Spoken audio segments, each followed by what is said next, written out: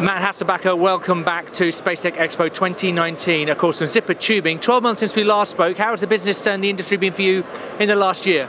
Yeah, great. It has been a great year, great end of last year and start to 2019. Been very busy for us. We've added a new member to the to the team, to our technical sales team. Her name's Madison. She's with us at the show, so if anyone's here wants to stop by and say hello, they should stop by.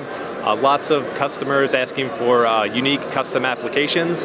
We've worked, worked really hard with our production team to get our turnaround time really quick in a matter of days they can get their prototypes out and we've seen a great response from that more people are coming to us for those custom applications and of course, this year, uh, a new product, Shrink and Shield Nano, to your product line has been introduced. Can you tell us a bit about that solution and why you're displaying it here? Great. Uh, shrink and Shield Nano, yes. Um, our Shrink and Shield product line is uh, EMI shielded shrink tubing. So it's a great product because it has an EMI shield inside of a shrink tube. So it saves a lot of time and um, will shield and add outer protection.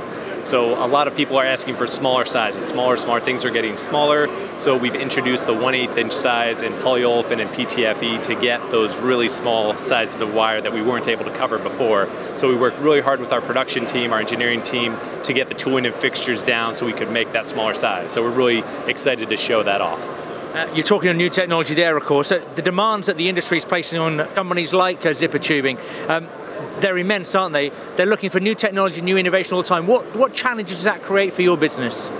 Um, there are a lot of challenges, but we find that exciting. It's finding those new materials. It's smaller, like we talked about the Shrink and Shield Nano, getting that smaller solution for people. Also higher temperature. That's always the drive for us, is to get get those um, higher temperature applications. It's looking into new um, uh, fiberglasses, new uh, carbon fiber, uh, basalt fiber. Same thing as last year. That's always pushing the envelope to see what we can get in those higher temperatures. So we found those and we're able to work with those customers to find the exact thing they need for that temperature range that they're working with.